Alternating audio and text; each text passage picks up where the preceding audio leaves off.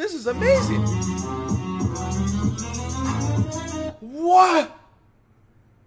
No, this is the second video? Oh, goodness, bro. We already talked about this, guys. Isn't it weird? This is the guy that's leaking it?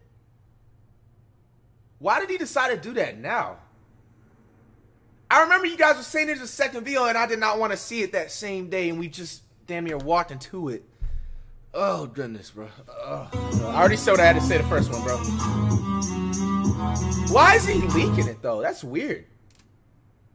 He said you said this guy is a scout. No, I doubt that. It, that's like some lawsuit if that if, if he is. Bro, I'm not. Bro, why are you replaying it, man? This isn't Fight One v Ones.